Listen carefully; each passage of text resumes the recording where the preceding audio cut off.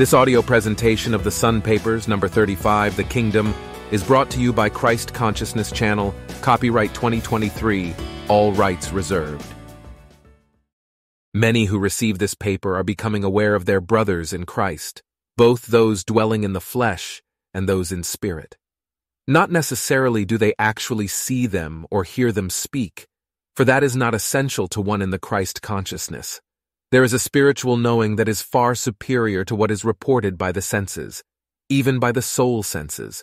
Likewise, there are many who have either recently entered the kingdom or are able to look in, as it were, and who are more or less aware of the wonders existing there and long for a clearer sight and understanding of what they there see. For as we previously stated, because everything there is almost the opposite of all things seen and known in the mortal consciousness, they are but as babes in understanding in the new consciousness. This cannot help but be when it is realized that all that is seen in the outer world are creations of the mortal mind, that which thinks itself a self, and separate from God's mind.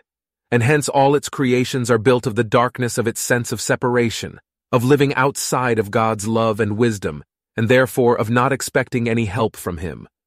Hence all are built for self, to gratify and benefit self, and are largely selfish. All of man's creations, all of his institutions, commercial, industrial, financial, social, educational, and even philanthropical and spiritual, are built upon and to feed and perpetuate selfishness. Investigate carefully and impersonally, and you cannot but see that this is true, especially when compared with what exists in the kingdom of divine mind. What do we see there? That which strikes us first is the exquisite beauty of everything and everyone, that all are perfect, even as the Father conceived them, every soul young, happy, and radiant, and everything devised for the free use and enjoyment of the inhabitants, which means that there is a rich abundance of all good things for everyone always available. No one there ever needs anything, for it is always at hand. A desire for anything is immediately fulfilled. Then, of course, no one needs to ask or take from another, and no one ever owes another anything. Hence, money is not known there.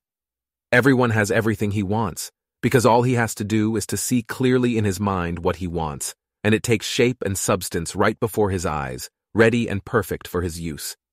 From this you can see there is no selfishness there, for all there are those in whom self no longer is. There is no injustice, for the law of justice rules everyone's consciousness. There is no evil, for it has been learned that evil, sin, sickness, inharmony, and unhappiness are only the creations of mortal mind. And of course, one who is selfless never thinks, and thereby creates such things. Does this help you to see how and why man is responsible for the outer world?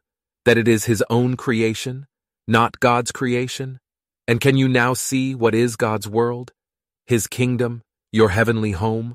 Where you can return any time you will by knowing and seeing only the truth and thinking true thoughts, His thoughts, about yourself and about Him and His world?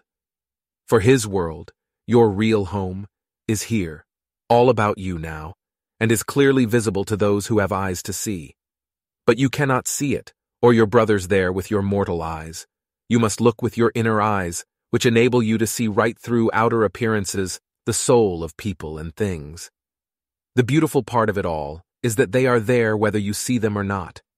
These others who have found God within themselves have found there a new and wonderful self, a wonderful world, and wonderful comrades in it, a world far more real than the ever-changing one without.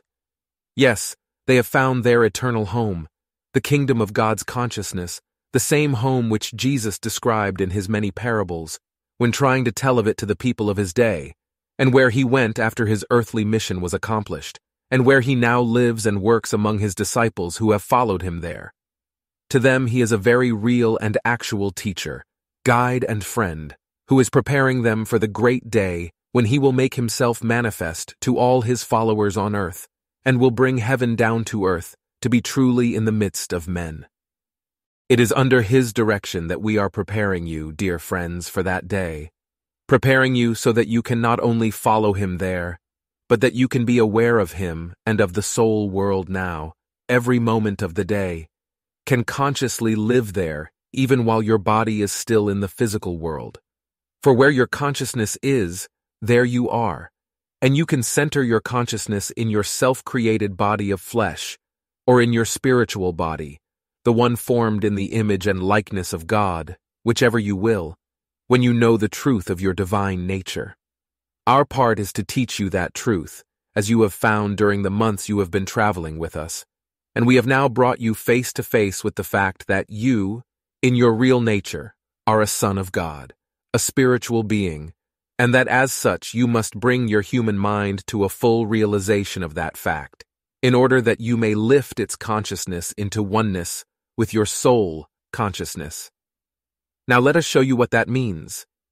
You are a son of God, descended from your divine estate into your human soul in order to redeem it and bring its consciousness back into your divine consciousness. You have brought it up to the stage of discipleship, where it is aware of you dwelling within itself and now actually living your life in it, and directing all of its activities both in the soul world and in the outer world of the human mind. Your main work now is the cleansing of that mind of all its untrue thoughts and beliefs gained from wrong teaching of parents, school, church, books, and teachers about life, your own nature, and God. All of these teachings have been mainly wrong and almost the exact opposite of the truth found in the real world of the soul, the kingdom consciousness of God's mind, where you as a soul live, move, and have your being, as we have shown above. And finally, those of you who have traveled all the way with us have eliminated from your minds most of the wrong beliefs about self and most of self's creations, so that your minds are now ready to let go and yield themselves over to you and permit you to use them as the selfless instruments you have been preparing and fitting them to be from the beginning. You are therefore almost ready to bring the consciousness of your human mind back into oneness with your soul consciousness, so that the two will be one, and you can then be aware of all that is manifesting on the soul plane of expression. But before that can be, we must need further prepare you by making you definitely aware of yourself as a soul apart and distinct from the consciousness of your human mind. You in your integrity as a soul are pure consciousness.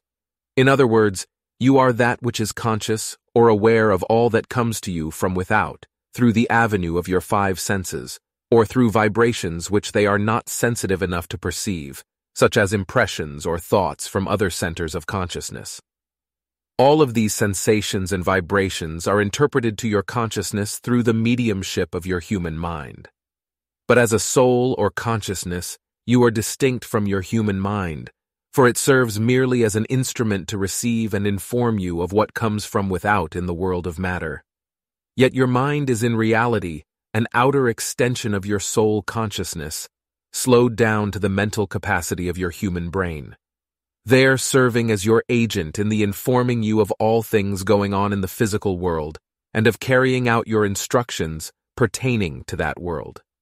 In that partial and necessarily limited consciousness, your mind grew to think itself a self, and separate from you in your soul consciousness.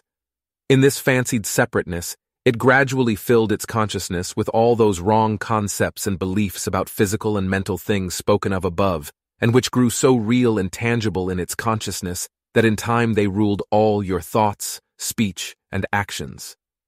But these concepts and beliefs should have no influence over your soul consciousness, only as you let them. The proof is, when you get quiet and still your mind and shut out all thoughts and impressions coming from without, then you are in your pure soul consciousness and are free to be aware of the impressions coming from within your soul.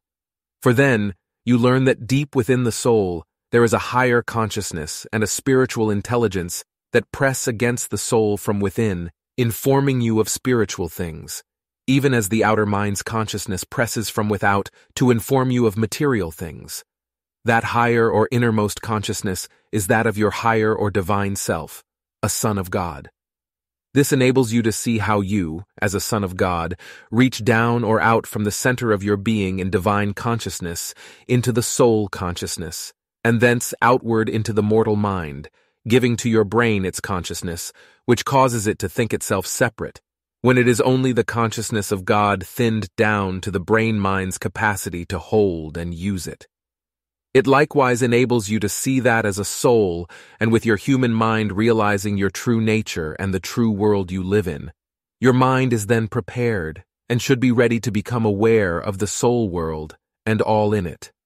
In other words, with your mind cleansed of all its old mental creations, all its beliefs and thought pictures of things in the seemingly outer world, and which before it thought so real and important, it should gradually become conscious of the soul or inner and true nature of these things and of the people around you. As we have said before, all true disciples are due to come into this awareness any time, and as a help we urge that from now on you meditate much on the idea of being a soul, trying to throw off all that presses upon your consciousness from the outer world of mind and to retire into and remain back in your soul consciousness, watching and noting all that comes to you there, in order that you may learn all about this new world. You will find by being alert, you will receive ample instruction and direction regarding what appears.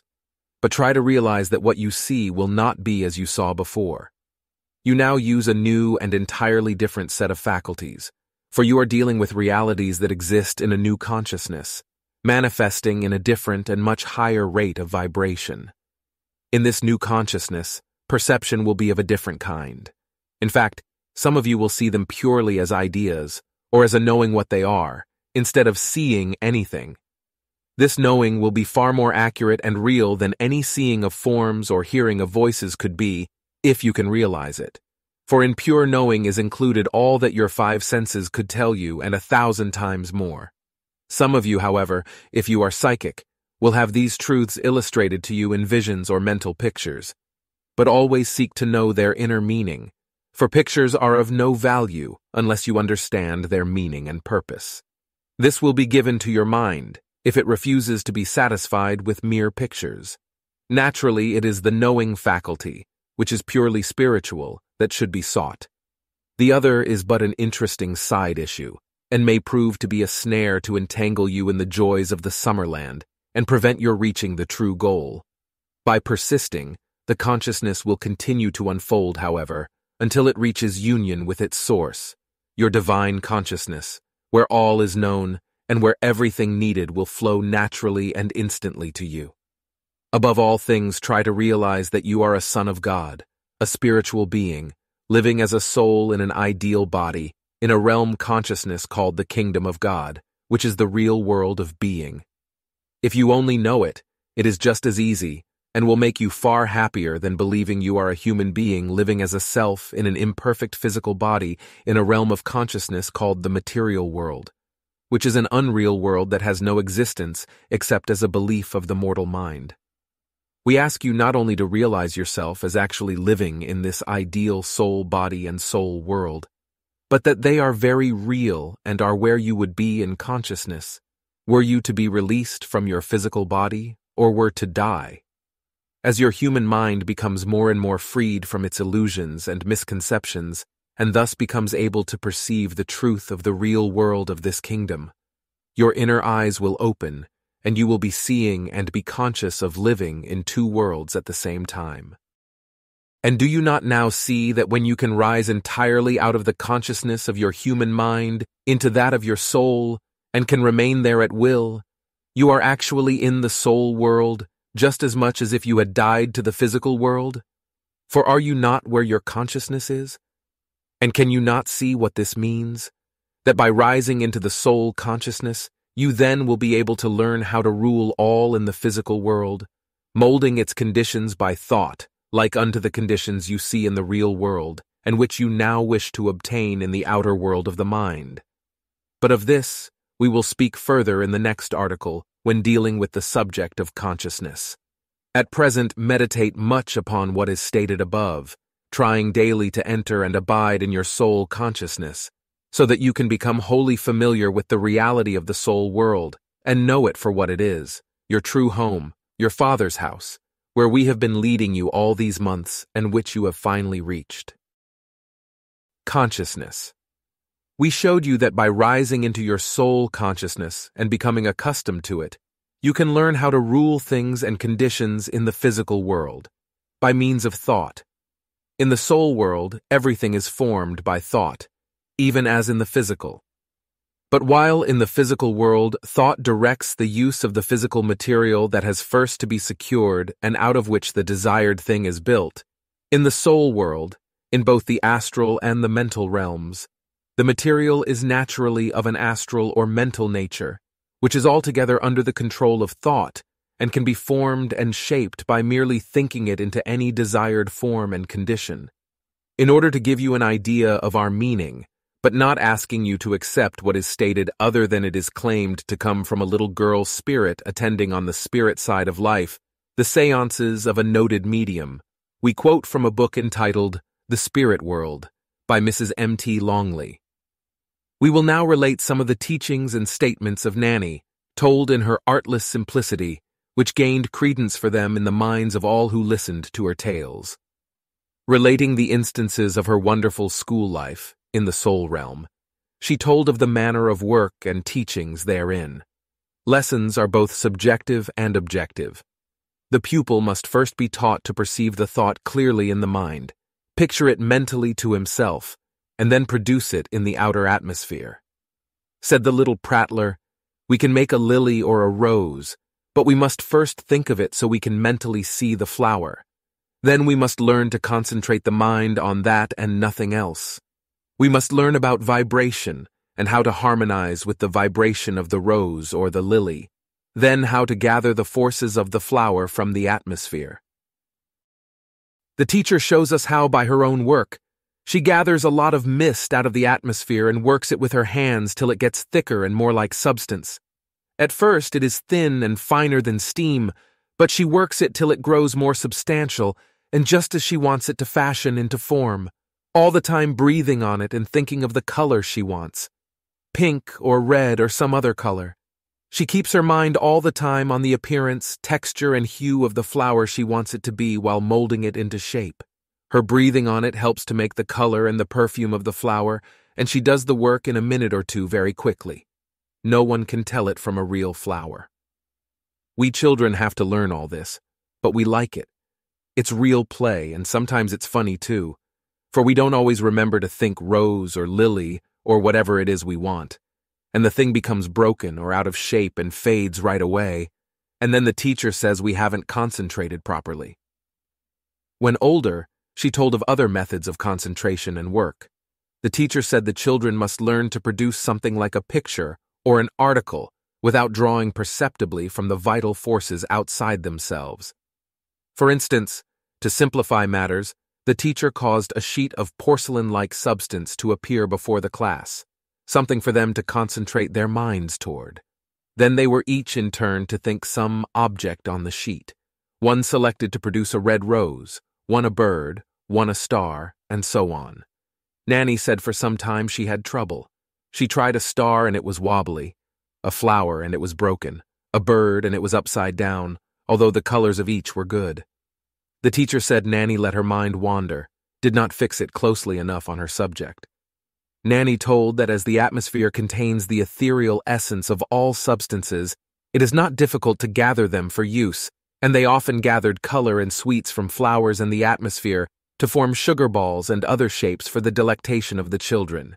She said they sometimes teased Tella or someone else to make us a nice ice cream or pudding or cake all white and shining and the culinary artist would proceed to do so, not with pots and pans and flour and eggs and things of that sort, but simply by knowing how to manipulate the atmosphere, draw from it the essentials needed, and bring them to the right consistency and degree of perfection, the cake, cream, pudding, or candy would be made and enjoyed to the satisfaction of the guests or children.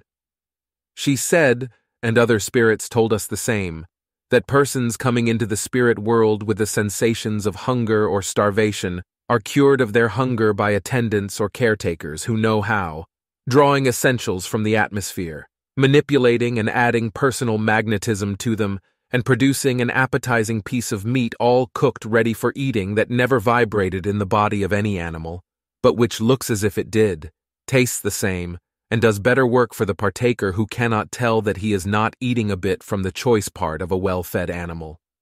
Remember that the above tells what is taught children who live in the soul realm. Later, through the power of concentration and clear visualizing, they learn to create objects at will without manipulating with their hands. One watching would see them take form right before their eyes out of the atmosphere. As the ethereal essence of all substance is contained in the atmosphere, one who knows that, through the power of his will and his directing thought, can draw forth whatever he needs. Try to realize that if children on the higher planes of spirit are taught these laws, old souls should know them and are probably employing them in their work on those planes, which means that you, who are disciples of Christ, and who are old souls and live on the highest of the soul planes, should know perfectly how to use these laws, and are now trying to teach the right use of them to your brain minds. That you do know how to use them is plain from the fact of your human reflections, having misused this knowledge in the past, in the creation of conditions which are now reacting upon them because of the selfishness which motivated them in such creation. The time is now here when you are calling upon your human selves to rectify these mistakes by willingly returning to your soul consciousness and from there creating the outer conditions which they now know alone will bring peace and happiness into their lives and into a world sorely distressed on account of the mistakes of the past. You have been shown how to do this in paper number 25, in the Way Out article. We are now explaining why, when you do as instructed, results must follow. For the soul realm is the real world, and the real creating is done there. Anything or any condition created there by thought and held in consciousness as being finished must outmanifest itself. Then it behooves every disciple of Christ to begin now to create carefully in his human mind, filling in every detail, the true and permanent conditions he sees in his higher consciousness and which he wants to outmanifest. And when all is clearly visible and you know it is finished, go about your business in the serene assurance that the condition thus created now exists Mentally see it as actually being so and yourself happily a part of it in the outer world, naturally allowing not the slightest doubt of it to enter your consciousness, and it will soon outmanifest and establish itself in your life. If you do all that we have here stated, the results must follow, for it is the law, and the law never fails. Bringing the kingdom down to earth.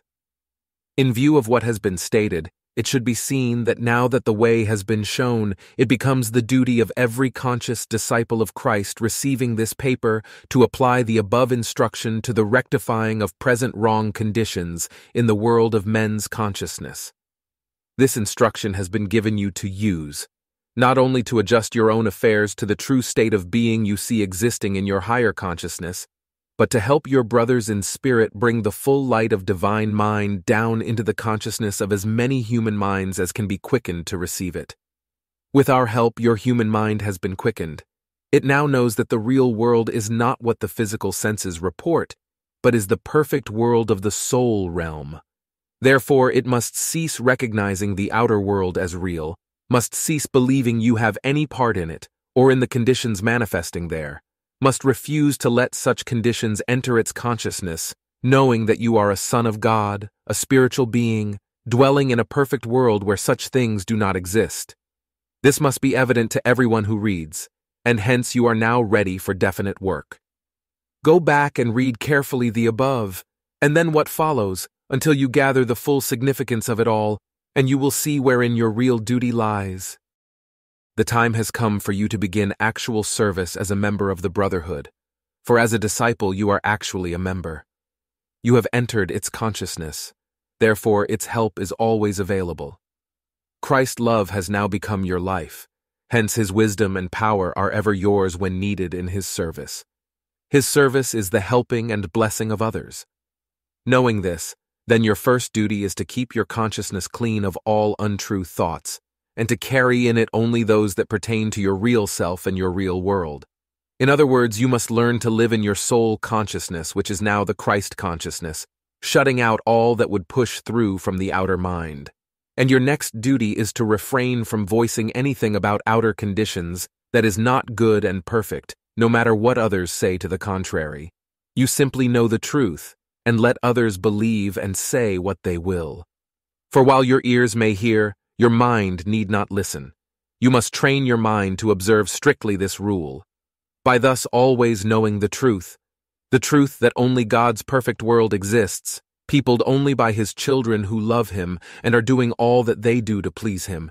You are carrying about a great light that will illumine the world consciousness far and wide, quickening and lighting many other minds, and thus gradually driving out all darkness in the consciousness of your community. For can you not see that the greater this knowing, the more powerful becomes your light, and the more far reaching its radiance?